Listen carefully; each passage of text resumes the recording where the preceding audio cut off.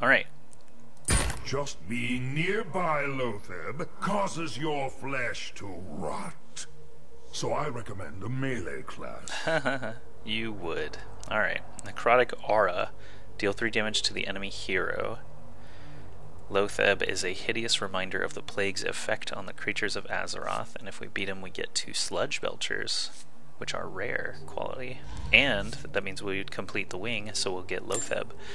So to defeat Loatheb, who's doing direct damage to our face, I think perhaps good old Zoolock might actually be in order.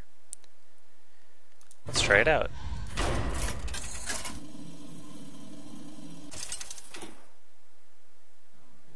Let's see if it's a race. Versus Loatheb! I see you. Your soul shall be mine. Mm, it is on curve. He's not doing direct damage with his hero power, so this could be okay. I greet you. You waste your breath. Alright, that's a good draw for turn two. He has 75 health, not 30. Okay, so that's makes this race a little more interesting. I don't definitely don't want to silence this. I want to kill it. Maybe I'll play this and then soulfire it. Alright, I'd rather discard the owl than the harvest golem, I think. Unless he plays a bunch of big taunters. Dancing swords. Your opponent draws a card. Alright, let's see if Harvest Golem can take him out with the knife thrown by Knife Juggler. Alright. I think that's fine. Another Knife Juggler.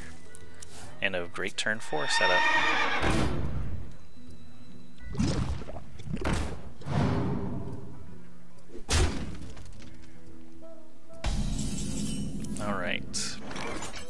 Good turn 5, wow. That's handy. Hmm. Alright, go for that. Keep minions alive as long as possible.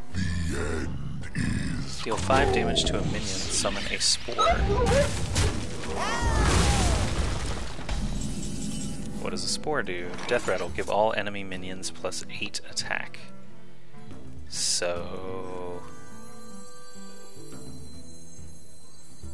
This seems fine. so now I have a 12-4 and a 12-1. Uh, sorry, a 10-1. Poison Seeds? I just got these guys. That's so rude. Still gonna hit him for 6. Actually, still gonna hit him for 11. I guess I'm glad you didn't Poison Seed Doomguard. Guess makes another Spore. Maybe able to grind him down without hitting any Spore creatures. Ah, here are the big taunters I expected. Alright.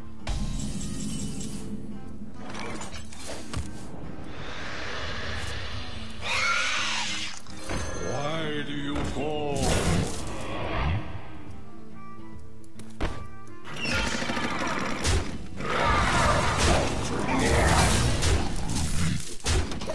Okay.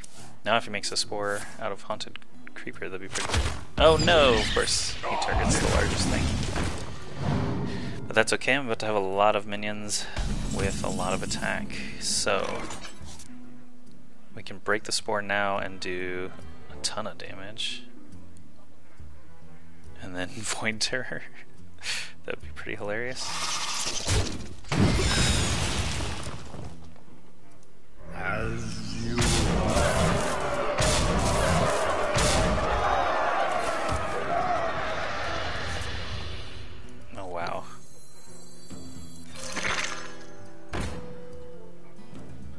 It's actually, yeah, that seems fine. Let's do it.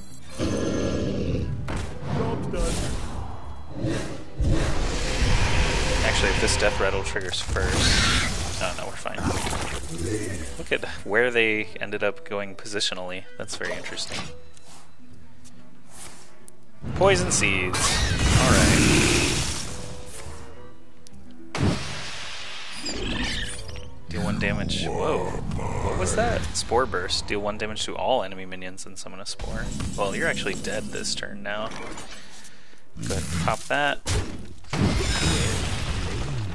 And we'll hit him for 60. so Zoolock appears to be just fine for normal Loatheb.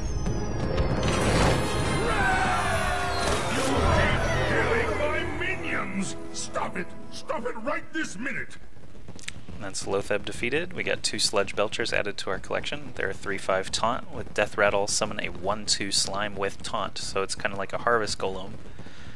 Um, but it spits out a Northshire Cleric instead of a 2 1 damaged Golem.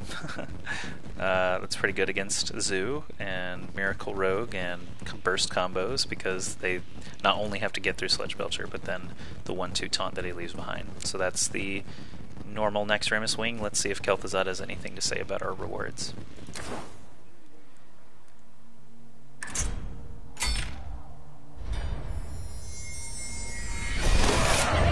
Plague Quarter defeated. Loatheb. 5 5 or 5, Battle Cry. Enemy spells cost 5 more next turn. And we've got now a Mage and Hunter class challenge to check out.